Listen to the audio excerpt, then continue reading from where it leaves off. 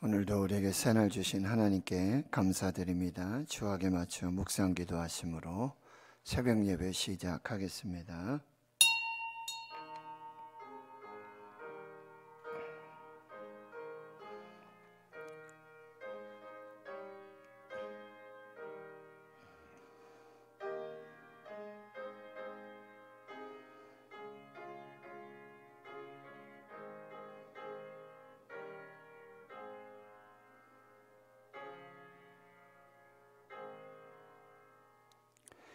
하나님 감사합니다. 오늘도 새날 주시고 새 생명 주심 감사합니다. 하나님 이 새벽에도 하나님 은혜 보좌 앞으로 나왔습니다. 때를 따라 도우시는 그 은혜를 사모하고 기다립니다. 아버지 저희들 불쌍히 여겨 주시옵시고 긍휼을 베풀어 주시옵소서. 밤마다 우리에게 예비하여 두신 은혜 쌓아두신 은혜 날마다 부어주시고 깨닫게 해주시고 결단하게 하시고 또 기도하게 하시는 은혜를 감사합니다. 살아있고 활력 있는 심령과 골수를 찔러 쪼개는 하나님의 말씀으로만 살도록 역사하여 주시옵소서. 까닭 모를 신비한 하나님의 고난 중에 있는 살아가는 주의 성도들 하나님, 하나님을 온전히 깨달아 알도록 해 주시고 또 자기 자신이 누구인지 분별할 수 있는 겸손함도 허락해 주시옵소서. 우리 모든 일상의 삶에 하나님 주신 은혜와 감사를 찾아 고백하고 기록하며 결단할 수 있는 복된 은혜의 시간들이 되게 해 주옵소서. 우리 고3 학생들 짧은 아버지 이제 수능 시험 앞두고 있습니다. 두려워하지 않게 하여 주시고 모든 것을 하나님께 맡기고 인도하시고 역사하시는 하나님의 은혜를 경험케 해 주옵소서. 사랑하는 주의 성도들 우리 환우들 그 아픔과 고통 중에 우리 하나님께서 만나 주시고 또 치유하시고 회복하시는 그 은혜로 충만케 해 주시옵소서 모든 것을 감사드리옵고 예수님의 이름으로 기도하옵나이다. 아멘. 사도신경으로 신앙 고백하시겠습니다. 나는 전능하신 아버지 하나님, 천지의 창조주를 믿습니다. 나는 그의 유일하신 아들, 우리 주 예수 그리스도를 믿습니다. 그는 성령으로 잉태되어 동정녀 마리아에게서 나시고 본디오 빌라도에게 고난을 받아 십자가에 못 박혀 죽으시고 장사된 지 사흘 만에 죽은 자 가운데서 다시 살아나셨으며 하늘에 오르시어 전능하신 아버지 하나님 우편에 앉아 계시다가 거기로부터 살아 있는 자와 죽은 자를 심판하러 오십니다. 나는 성령을 믿으며 거룩한 공교회와 성도의 교제와 죄를 용서받는 것과 몸의 부활과 영생을 믿습니다. 아멘. 찬송가 425장입니다. 425장입니다.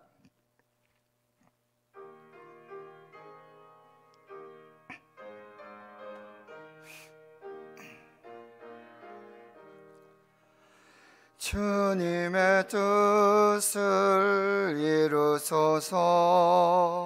고요한 중에 기다리니 진흙과 같은 날 빚으사 주님의 형상 만드소서.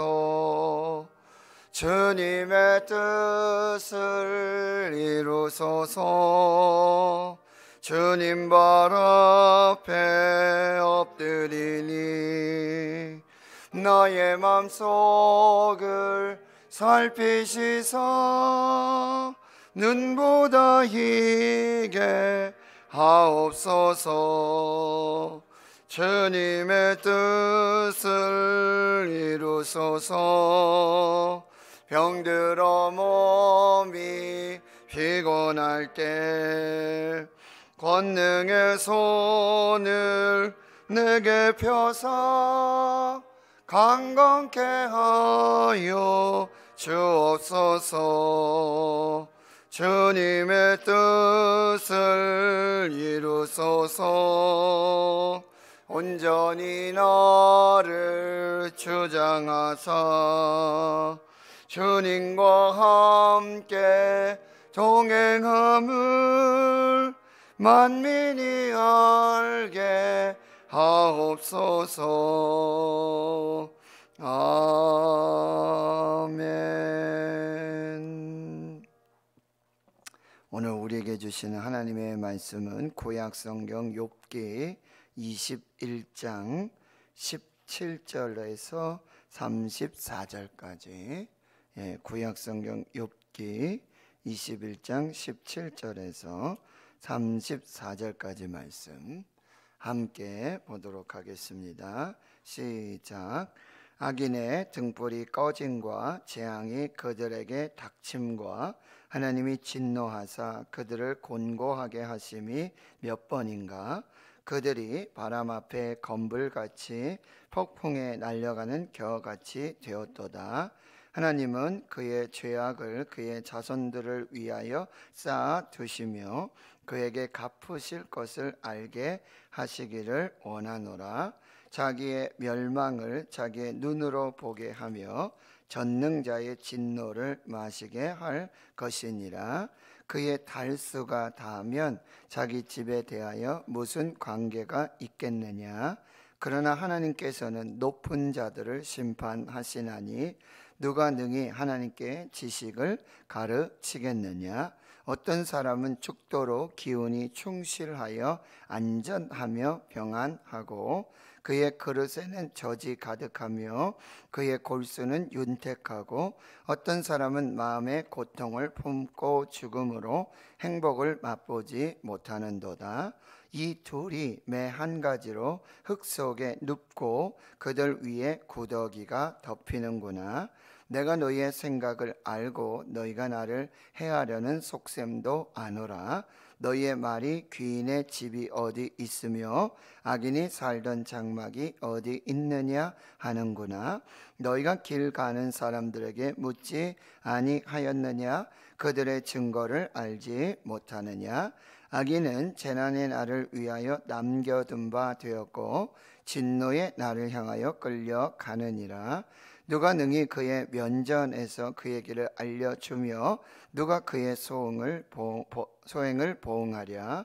그를 무덤으로 메어가고 사람이 그 무덤을 지키리라. 그는 골짜기에 흙덩이를 달게 여기리니 많은 사람들이 그보다 앞서 갔으며 모든 사람이 그의 뒤에 줄지었느니라 그런데도 너희는 나를 헛되이 위로하려느냐 너희 대답은 거짓일 뿐이니라 아멘. 예, 오늘 본문 욥기 21장 17절에서 34절까지. 예, 욥은 이제 친구들 어, 그 변론과 또 위로와 충고의 말을 듣고 또 욥이 계속해서 대답하는 그런 본문의 말씀이 되겠습니다.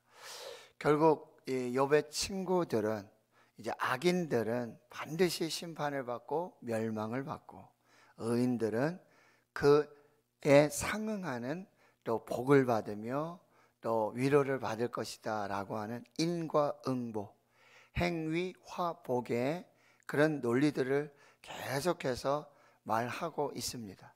근데 욥은 지금 그렇지 않다는 거예요. 의인과 악인이 반드시 너희들이 말하는 것처럼 그렇게 의인은 복을 받고 악인은 심판을 받고 그런 경우가 내가 봤을 때는 그렇지 않은 것 같다.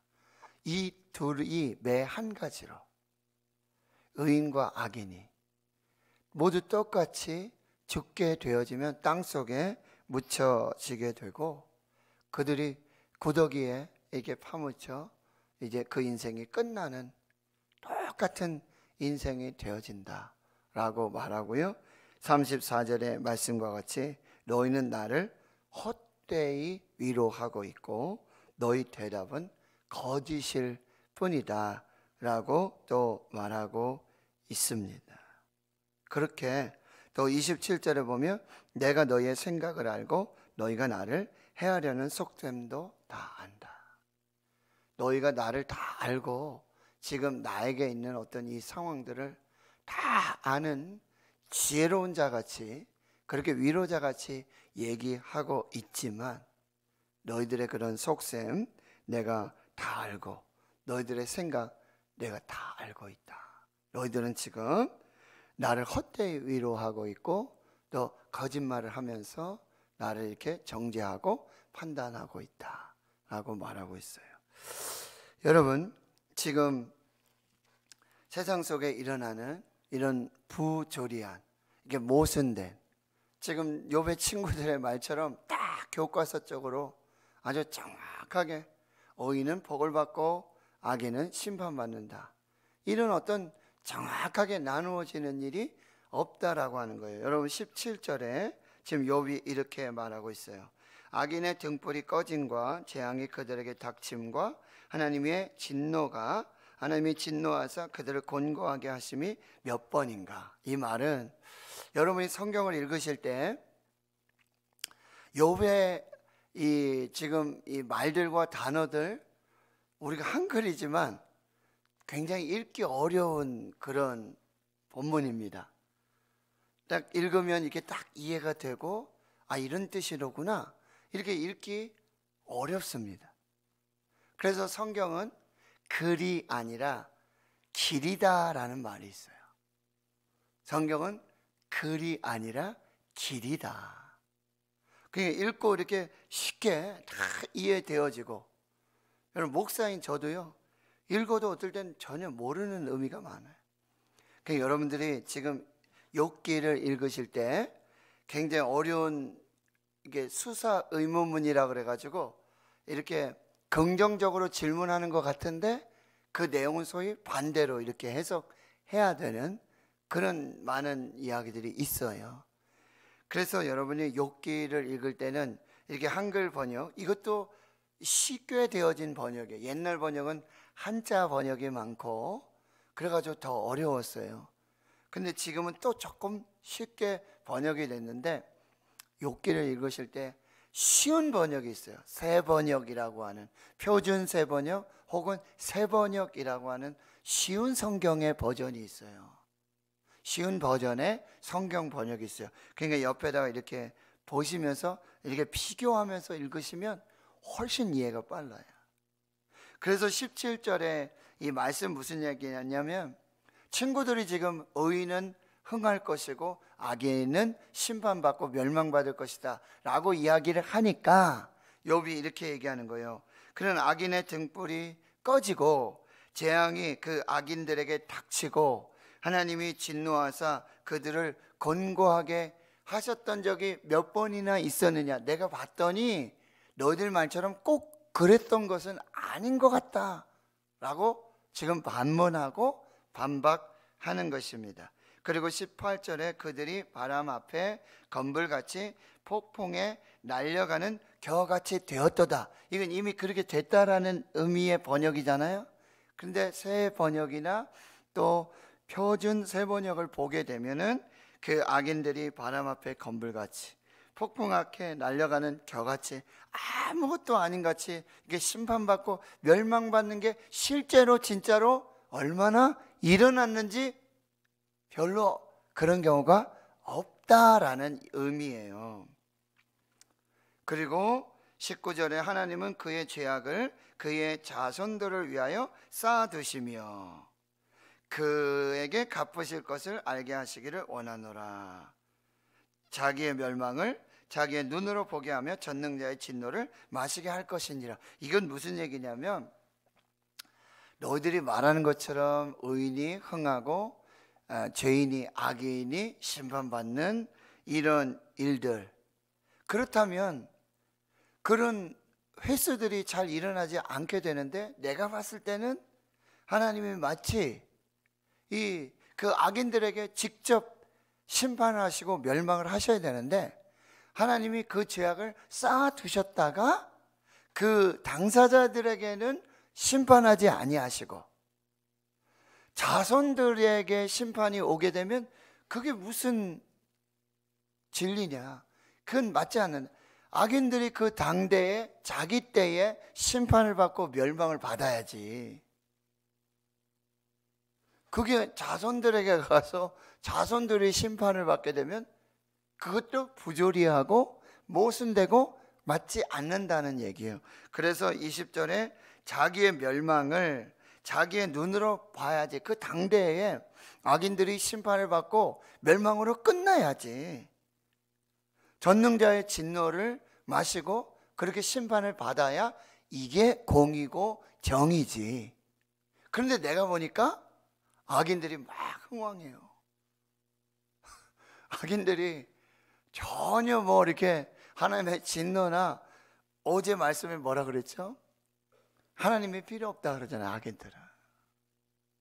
내가 이렇게 흥하게 되고 내가 이렇게 잘 살게 되는데 하나님이 뭐 보태준 거 없지 않습니까? 하나님 필요 없고 내가 하나님께 기도해도 아무 소용 없으니까 차라리 하나님 없는 게 좋겠다. 이렇게 하나님을 뭐라 그러죠? 불필요한 존재로까지 얘기하잖아요, 악인들은.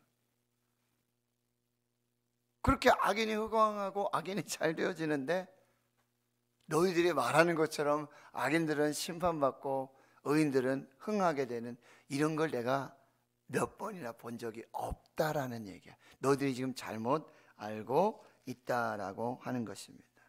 그의 달수가 닿으면 자기 집에 대하여 무슨 관계가 있겠느냐? 그들이 정말 살 때까지 다 살고 그렇게 죽고 뭐 자녀들에게 재앙이 임하고 그러면 그 집에 그게 무슨 관계가 있겠느냐라고 얘기하는 거죠. 22절도 보세요. 그러나 하나님께서는 높은 자를 심판하시나니 누가 능히 하나님의 하나님께 지식을 가르치겠느냐. 자, 보세요. 이제 그러나 그러나 하나님께서는 높은 자들 마치 하나님 없이 살고 하나님의 이렇게 통치와 다스리심, 하나님의 섭리에 이게 제외된 그렇게 사는 것과 같은 그런 사람들도 하나님이 반드시 반대로 이제 심판하시고 판단하시고 다스리시고 통치하시는 그런 일들을 보게 되는데 여러분 높은 자리에 앉으면 권력이면 그 권세면 뭐래요? 하늘 날아가는 새도 떨어지는 떨어뜨리는 권세라고 막 그렇게 얘기하잖아요. 그러니까 하나님보다 더한 권세의 높은 지위에 있어요. 그 어떤 권세로도 다스릴 수 없고 심판하고 판단할 수 없는 그런 권세를 가진 사람들도 그러나 하나님께서 다스리시고 통치하시고 그 권세자들 낮추시고 심판하시는데 그 지혜를 누가 다 깨달을 수 있겠느냐? 너희들이 지금 잘못 알고 있다. 잘못 말하고 있다라고 말해요. 그래서 23절에 보세요. 어떤 사람은 죽도록 기운이 충실하여 안전하며 평안하고 그렇죠? 여러분 보세요 한번. 또 그의 그릇에는 젖이 가득하며 그의 골수는 윤택하죠. 그런데 또 어떤 사람은 마음의 고통을 품고 죽음으로 행복을 맛보지 못해요. 그래서 26절에 이 둘이 매 한 가지. 여기서 둘이라고 그랬죠. 그랬지만 어떤 사람 그냥 이유를 모르겠어요. 까닭을 모르겠어요. 그냥 기운이 차요 죽도록 평안해요. 행복해요. 좋은 일만 있어요. 부여해요. 골수가 윤택해요. 그런데 또 어떤 사람은 마음의 고통이 고통이 뭐 계속되고 고난이 계속되고 그렇게 죽기 때문에 행복을 한 번도 경험할 수 없는 그런 사람도 있다는 게 자기 보니까. 그래서 26절 이 둘이 매 한 가지로 매 한 가지로 무슨 얘기입니까? 똑같다는 거예요. 마찬가지로. 기운이 다 하여 죽을 때까지 천수를 누리고 부를 누리고 명예를 누리고 권세를 누리면서 그렇게 사는 사람도.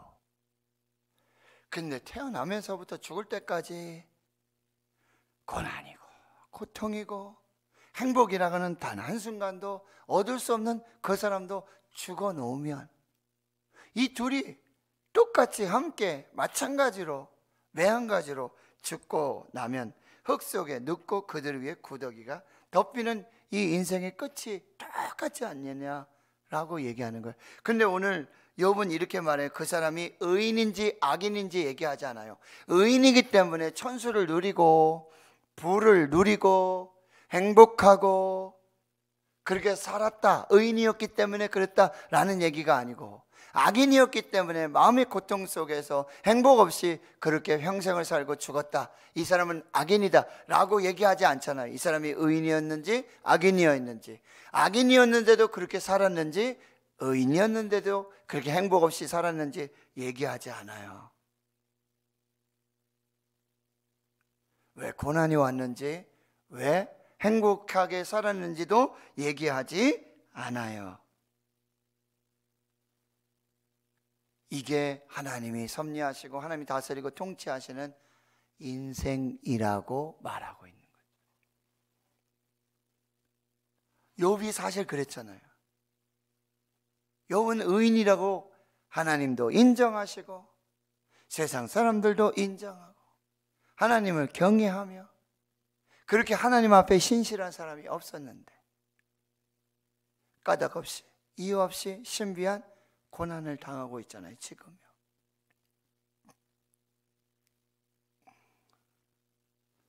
사랑하는 성도 여러분, 오늘 우리가 첫 번째 받을 메시지는 무엇입니까? 이렇게 부조리하고 모순된 그런 현실 속에서 기준은 하나님이시고 하나님의 말씀이라고 한다는 거예요.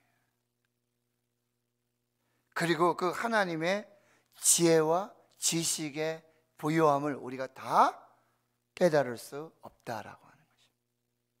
다 이해할 수 없다라고 하는 거예요. 그래서 우리는 함부로 판단하고 정죄하고 이건 이런 거야. 이거는 이런 거야. 라고 우리가 결론 내릴 수 없다라고 하는 것입니다. 이것을 우리가 잘 분별 해야 된다라고 하는 것입니다. 그런데 우리가 또 한 가지 이제 욥의 이 말에서 또 기억해야 될 것은 이렇게 그 사람이 의인인지 악인인지 알 수가 없고 그 사람 왜 고난 받는지 그 사람 왜 행복한지 우리가 알 수 없어요. 근데 욥은 이렇게 말하죠. 이 둘이 매 한 가지로 똑같이 죽으면 똑같이 흙 속에 묻히고 구더기가 그 위에 덮이는 죽음이면 똑같지 않냐? 그렇죠. 부자도 뭐 죽으면 가난한 자도 죽으면 그런데 성경은요. 죽으면 똑같지요. 죽으면 똑같지요. 노. 부자와 나사로의 이야기를 여러분 기억하셔요. 죽어서 똑같았습니까? 죽으면 똑같죠. 뭐 흙 속에 들어가고 관 속에 들어가고 썩어서 예? 벌레들의 양식이 되고 뭐 땅에 흙이 되고 죽으면 똑같죠? 아니요. 성경 그렇게 얘기하잖아요. 죽으면 똑같지 않습니다. 의인의 죽음은요, 영생으로 이어지는 시작. 그가 의인이면서 고난을 받고 행복하지 못하고 불행하게 살았고 까닭 없는 이유 없는 신비한 고난 앞에 살았지만 죽으면 하나님의 공의와 정의로운 심판 속에 영생을 사는 은혜를 누려요. 그런데 악인은요, 이 세상의 모든 것을 누리고 행복하게 잘 살았어요. 죽으면 뭐한 줌에 흙이 되고 또 화장을 하면 재가 되고 똑같습니까? 아닙니다. 악인은 죽고 나면 하나님의 공의로운 정의로운 판단과 심판 속에 영원한 지옥의 형벌이 있게 되어진다는 거예요. 죽으면 매 한 가지로? 둘이 죽으면 똑같다? 아니에요. 성경은 그렇게 말하고 있지 않아요. 하나님 앞에 하나님이 인정하시는 의로운 사람들은 반드시 영생의 축복을 누려요.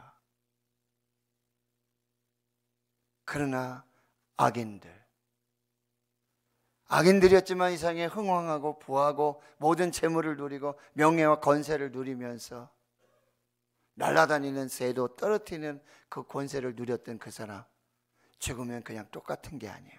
그 사람 죽으면 영원한 지옥의 형벌을 받게 된다는 거예요. 그래 여러분, 여러분, 우리가 하나님을 다 알 수 없다. 이걸 잘 분별하셔야 돼요. 김윤상 선교사님 우리 정말 40, 24일간의 그 무의식 속에 천국과 어떤 지옥 그 영적 전쟁의 실체를 실제로 경험하니 그냥 막연한 추상적인 어 가면 천국이 있나 보다 어, 지옥이 있나 보다 그 영적 전쟁이라는 게 참 뭐 나는 아직 경험해 보지 못했기 때문에 실제로 존재한다.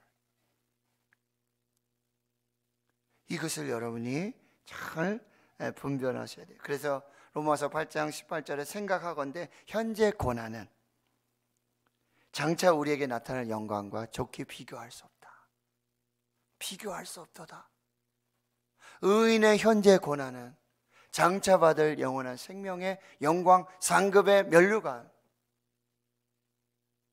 성교사님 고백하잖아요. 그 앞에 갔더니 내가 그렇게 모태 신앙으로 평생 예배드리고 평생 봉사하고 평생 하나님 앞에 살았던 그 모든 것이 하나님 앞에 가면 아무런 가치 없는 그 속에 진정한 의도와 동기를 하나님이 다 보시고 다 분별하신다. 내가 드렸던 예배 중심, 내가 봉사하고 섬겼던 그 모든 것의 중심, 외모적으로 보면 맨날 24시간 교회에 있는 것 같고 24시간 기도하는 것 같고 24시간 예배하는 것 같고 모든 사람이 인정하는 그런 삶이었다 할지라도 하나님은 외모를 보지 않고 중심을 보고 우리 반드시 하나님의 심판대 앞에 서게 될 거라는 사실 이것을 꼭 기억하셔야 돼요 욥기를 통해서 우리는요 하나님을 알고 욥을 아는 거예요. 하나님을 만나야 되고 욥을 만나야 돼요. 어려워요. 힘들어요. 이해하기 어려워요. 묵상하기 어려워요. 하나님의 그 크고 넓고 높고 깊은 그 하나님이 누구신가 우리 다 이해할 수 없어요. 욥이 받는 고난도 우리가 함부로 그냥 뭐 옛날 얘기하듯 그냥 욥의 고난을 가지고 이렇게 일상에 고난 당하는 사람을 그냥 위로한답시고 욥의 이야기를 꺼내서 욥도 욥도 근데 이 고난 이걸 누가 다 이해할 수 있습니까? 욥은 계속해서 하나님께 질문하잖아요. 하나님 까닭이 무엇입니까? 이유가 무엇입니까? 하나님 어디 계십니까? 말씀 좀 해주세요. 나를 불러주세요. 나의 판결자가 되어주시고, 변론자가 되어주시고, 나의 구속자가 되어주시고, 나의 증인이 되어주시고. 근데 하나님은 전혀 말씀하지 않았어요. 그리고 요배 이야기를 다 듣고, 이제 37장, 38장에 가서 그 폭풍 속에서 요백에 이제 말씀하시기 시작. 욥은 수많은 욥의 친구들도 여기 친구들의 이야기는요. 사실 이 세상에 당시 그 세상에 어떤 지혜자의 표본이라고 할 수 있어요. 그들이 어떤 생각하고 있는 최고 가치의 어떤 지혜의 판단, 어떤 판결이라고 말할 수 있어요. 근데 그게 맞지 않는다는 거죠. 그게 항상 정확하지 않는다는 거죠. 그것을 초월하는 뛰어넘는 하나님의 지혜와 지식의 부요함이 있다라고 그 천지를 지으신 창조주 하나님. 그걸 다 이해할 수 없다라고 하는 것입니다. 그렇다면 성경이 말하는 유일한 진리, 유일한 해답은 예수 그리스도. 욥은 어쩌면 예수 그리스도의 모형이지요. 까닭 없이 이유 없이 불법에 그 고난을 당하시고 십자가 지시고 그 모욕과 멸시와 천대를 다 받으신 예수님. 그래서 죽으신 예수님. 그러나 죽음 후에 부활하심으로 예수가 진리고 예수가 길이고 예수가 생명이고 예수가 부활이고 예수가 정답이라는 것을 보여주셨던 예수님. 그 모든 것을 주관하시는 하나님. 엘리 엘리 라마 사박다니 어찌하여 나를 버리셨나이까. 그 하나님의 침묵, 하나님의 부재. 그러나 그 십자가에 달리신 예수 그리스도를 통해서 거기 있던 백부장, 거기 있던 모든 사람들 예수의 부활을 통해서 그들 입속에서 나오는 마지막 고백은 뭐예요? 그는 진실로 하나님의 아들이었도다. 욕기 어렵습니다. 힘듭니다. 그러나 욥을 통해서 우리는 하나님을 만나고 또 욥된 나를 보면서 하나님 앞에서 우리의 이 크고 놀라운 신비한 하나님의 고난들 어제 우리 신용백 목사님 우리가 말씀을 읽을 때 왕 같은 제사장 택하신 족속의 왕 같은 제사장 거룩한 나라의 그의 소유된 백성. 하, 할렐루야. 이것이 나의 정체성이고 하나님 이렇게 은혜를 베풀어 주십시오 너희가 은혜에 의하여 믿음으로 말미암아 구원을 얻었나니 이것이 너에게서 난 것이 아니야. 하나님의 선물이라. 누구든지 자랑채 못하게 하려 함이니. 한쪽으로만 성경을 볼 때가 너무 많아요 근데 우리가 택하신 족속의 왕 같은 제사장 거룩한 나라 그의 소유가 된 백성이 된 거면 너희를 어두운 데서 불러내어 그의 기이한 빛에 들어가게 하신 자의 아름다운 덕을 선전하게 하려 선포하게 하려 들려주는 복음이 있고 보여주는 복음이 행함이 없는 믿음은 죽은 믿음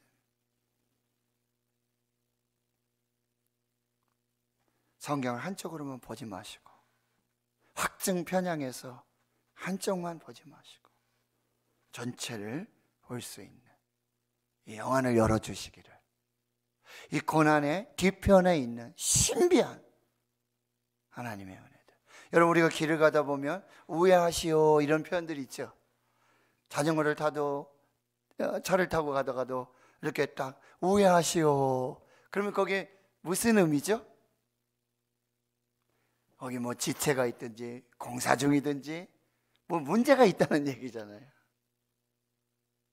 하나님 우리를 그렇게 때로는 우회하시게 하실 때가 있어요. 고난이라든 여러 방법들을 통해서. 근데 거기 분명히 우리가 보지 못하는, 우리가 알지 못하는 그 하나님의 크신 계획들, 일하심들. 뭐예요? 우리를 다시 살려주시고 이전에 경험하지 못했던 하나님을 경험하게 해주시고 이전에 깨닫지 못했던 그 진리의 말씀들을 깨닫게 해주시고 그래서 다시 하나님 앞에 서게 해주시고 나의 유일한 대답은 유일한 해답은 하나님이십니다. 예수 그리스도이십니다. 라고 우리 다시 하나님 앞에 세우시는 그 하나님의 놀라운 은혜와 사랑이라고 한다는 것. 이것을 우리가 잘 분별했어요. 하나님 앞에 승리하시는 거룩한 역사가 있기를 주의 이름으로 축원합니다. 하나님 감사합니다. 다 이해할 수 없고 다 깨달을 수 없고 그 하나님의 크고 놀라운 신비한 그 주권적 다스림과 통치 역사하심을 우리는 다알 수 없습니다. 욕기가 참으로 어렵습니다. 너무 힘이 듭니다. 그러나 성경이 글이 아니라 기림을 여기에 진리가 있고 여기 참된 하나님의 섭리, 주권, 역사가 있음을 욥기를 통해서 하나님을 하나님을 만나게 해 주시고 그리고 욥을 만남으로 정말 하나님께서 계획하시고 섭리하시는 크고 놀란 비밀한 역사를 볼 수 있는 영안 열어 주시고 세미한 주의 음성을 듣게 하여 주시옵시고 오직 하나님만이 오직 예수님만이 인생의 해답이고 인생의 결정권자이시며 인생의 주관자 섭리자이심을 반드시 기억하게 주여 도와주시고 의인인지 악인인지 알 수 없지만 그가 선을 행했는지 그가 악을 행했는지 알 수 없지만 그 삶으로 드러나는 그것이 전부가 아니라 우리가 보는 것이 전부가 아니라 보이지 않는 곳에서 일하시고 역사하시며 이제 죽음으로 끝나는 인생이 아니라 죽음 후에 정말 하나님의 심판이 있고 그리고 하나님께서 인도하시는 영원한 생명이 있음을 우리가 잘 분별해서 살아갈 수 있도록 도와주시옵소서. 이제는 우리 구주 예수 그리스도의 은혜와 하나님 아버지의 무한하신 사랑하심과 성령의 내주하심과 교통하심이 이제로부터 영원토록 함께 하시옵기를 간절히 축원하옵나이다.